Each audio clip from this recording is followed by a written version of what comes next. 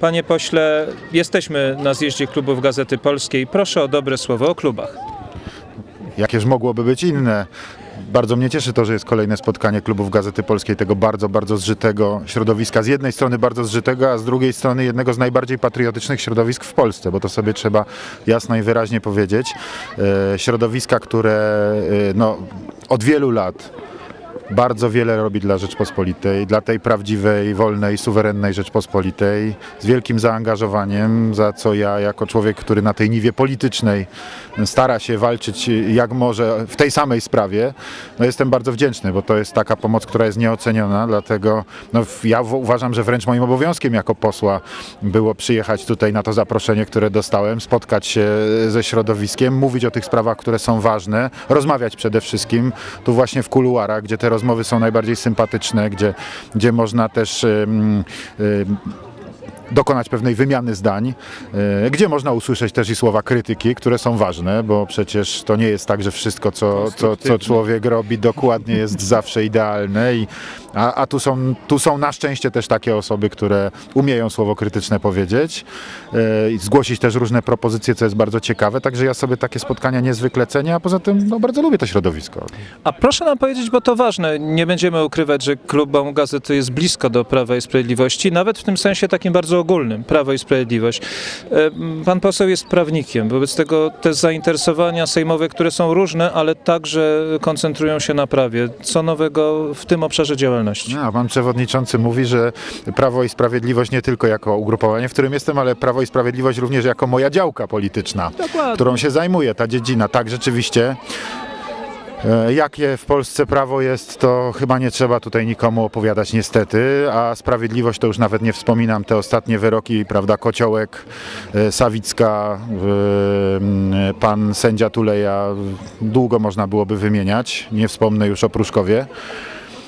To jest ogromny problem. E, Wymiar sprawiedliwości wymaga zmian, bo nie może być tak, że człowiek, który założył stronę internetową e, krytykującą prezydenta, myślę tutaj antykomor.pl, e, idzie do więzienia, jest szykanowany, m, aresztowany, skazany, a bandyci chodzą na wolności i się śmieją, tak? bo są wyroki uniewinniające, e, bo, bo sąd mówi, że wprawdzie wzięła łapówkę, e, ale odpowiada moralnie, natomiast jest e, w sensie karnym więc winna, ale niewinna.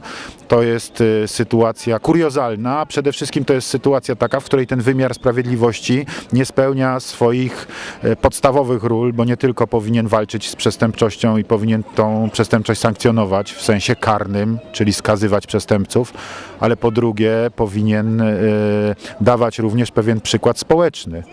Ludzie muszą mieć poczucie sprawiedliwości, a dzisiaj wymiar sprawiedliwości tak funkcjonuje, że go nie ma, więc pracujemy w tej chwili w ramach e, nowego programu Prawa i Sprawiedliwości, w ramach tego programu, który będziemy realizowali po najbliższych, mam przekonanie, zwycięskich wyborach.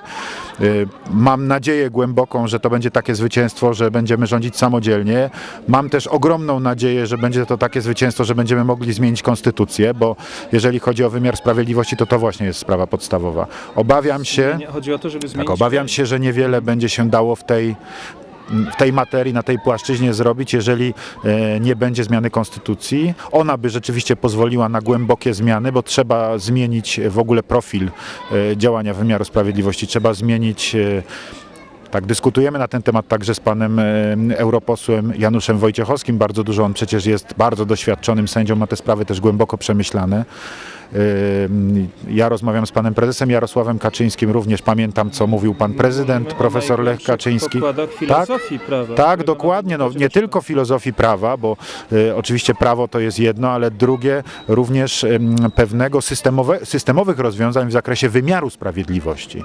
I t, tak jak, jak powinny funkcjonować sądy i jak doprowadzić do tego, żeby one funkcjonowały dobrze. Bo chcę powiedzieć, że to jest system naczyń połączonych, to znaczy kiedy widzimy, że e, Platforma Obywatelska nie jest Platformą Obywatelską w sensie nazwy, że demokracja nie jest demokracją, jest demokracją fasadową, że, że tak naprawdę wolność polega na coraz bardziej prawnym ograniczaniu wolności, no to właściwie coraz e, większe grupy społeczne i to widać, bo to są sondaże ostatnie, e, pokładają nadzieję w tym, że w Polsce zmieni się władza i, i, i tym sposobem Prawo i Sprawiedliwość zostanie przywrócone do, do tej swojej funkcji obrońcy Prawa i Sprawiedliwości. No i widzimy tutaj, czy, czy słyszymy wypowiedzi dotyczące dotyczące e, tej sfery, ale tak naprawdę to one są ze sobą połączone.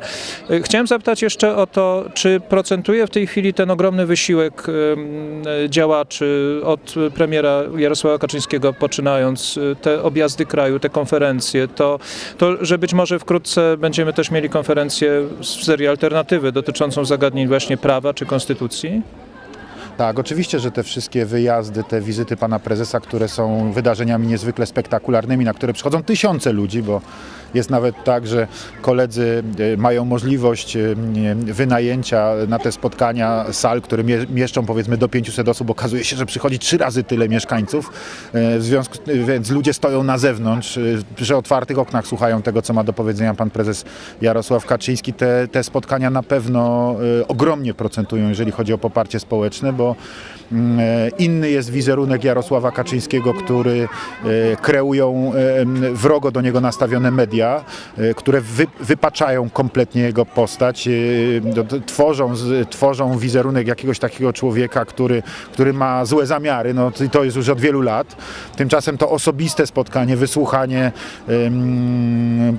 każdemu jasno i wyraźnie pokazuje, że to jest właśnie prawdziwy lider, że to jest niezwykle oddany z polskiej sprawie człowiek i to jest ktoś, kto naprawdę chce zmienić Polskę na taki kraj, w którym e, ludzie żyją normalnie, tak jak żyją w krajach Europy Zachodniej, gdzie e, dba się o obywatela. No dlaczego młodzi Polacy wyjeżdżają do kraju, krajów Europy Zachodniej do pracy, tam zakładają rodziny i tam żyją? Bo tam te rządy po prostu dbają o swoich obywateli. W Polsce rząd o to nie dba. Z Zosią Kozłowską z Dublina. Ona powiedziała to, czego pan nie słyszał, ale pan powtórzył. To znaczy jest to ten optymizm i my z takim optymizmem też mamy nadzieję, że, że kilka tysięcy, kilkanaście, kilkadziesiąt obejrzy ten, ten wywiad i że, Ale ja bym że chciał te w tym, zmiany tak. w tym kontekście jeszcze podkreślić jedno, bo tak trochę odbiegłem za granicę, choć to jest Mhm. sprawa niezwykle ważna, bo mnóstwo niezwykle wartościowych ludzi, wykształconych ludzi właśnie za granicę wyjechało, no nie widząc tutaj możliwości dla siebie, bo zostali po prostu zdławieni, stłamszeni sytuacją, no nie, nie mają mieszkań, nie mają pracy, no